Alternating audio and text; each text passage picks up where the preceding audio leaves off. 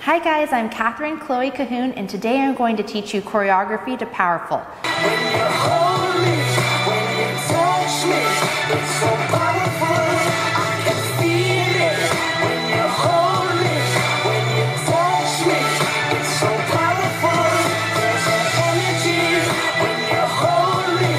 So the recording of this live performance isn't the best quality, and there's a lot of smoke and lights going on on stage, so I had to really study it to get the steps down. I would say I'm 90% accurate, but 10%, I just had to guess when there was a lot of smoke on stage, but I think we're good to go. So let's get started. Begin the section of choreography facing the right. You're going to bend your knees all the way down to the ground. Your left knee is above your right. Your right knee is resting on the ground. And now what you're going to do is you're going to draw your hands up from your knees to your hips as you stand up and as you arch your back. So together, it looks like this.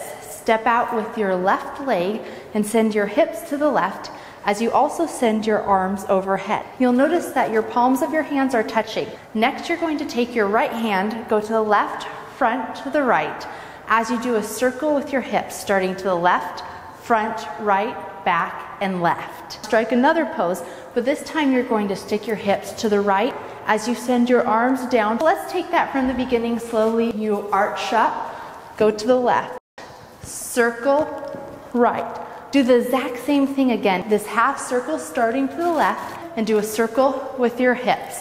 But this time you're going to bring your legs together you're going to turn them out and you're going to bend your knees all the way down to the ground. So if you've taken ballet, this is a grand plie as you take your arms overhead.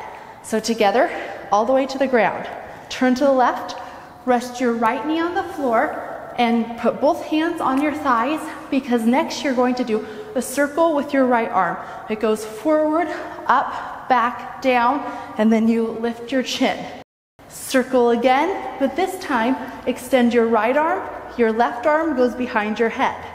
Return both hands to your thighs and do a third circle, but now go to the back, up, around, stand up, step onto your right foot. Your hips are to the right, and you're going to cross your arms onto your chest and look down.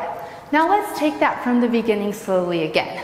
So we're to the right, we're on the ground, arch up, step, circle, look circle, plie down, circle, chin, circle, right arm out, do a reverse circle, stand up and go to the right. Bring your right leg to your left, hips go to the left, and you're going to take your right hand up overhead. Your arm is straight, your wrist is slightly floppy.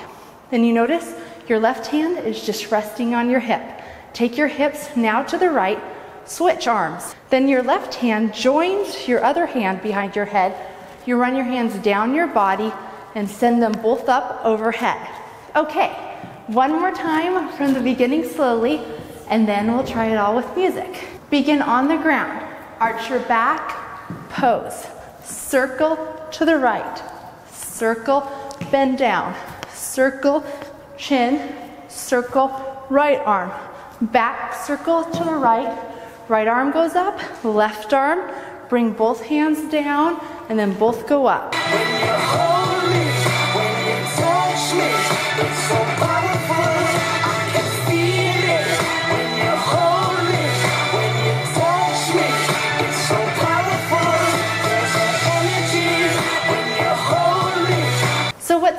About learning these dances is that you can be at a party or a dance club and the song comes on, and then you know some of the steps. It actually happened to me last weekend. I had a girls' night, and we were all out and having a lot of fun. And then the song Worth It came on, and I said, Hey, I know the choreography. So I started dancing it, and then other girls asked me to teach them, and it was a great way to meet people. So I just love so much all of your requests, and I love making these tutorials, and I hope you enjoy them. Thank you so much for watching, and I'll see you soon.